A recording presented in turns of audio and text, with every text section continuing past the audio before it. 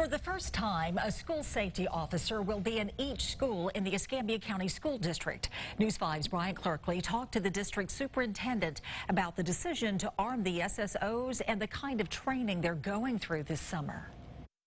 The superintendent says that last year they were short officers, so they didn't have enough to put one in every school all day long. But this year they're training new safety officers.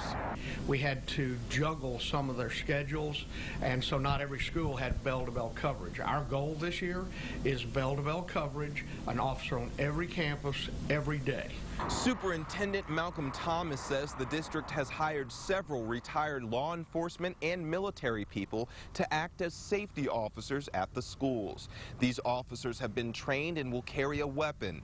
He says some of the other schools will still use off-duty law enforcement, but the safety officers will fill the gap. I don't see it being a problem as long as they're trained and uh, you know mentally stable. Good to go.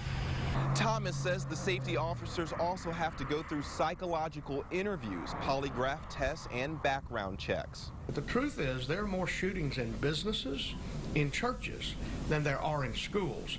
But in the event we have one, we want to be prepared for our families and our students. The money to train these safety officers came from a grant.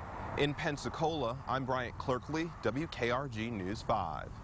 The National Association of School Resource Officers estimates there are 14 and 20,000 officers in about 30% of the schools nationwide.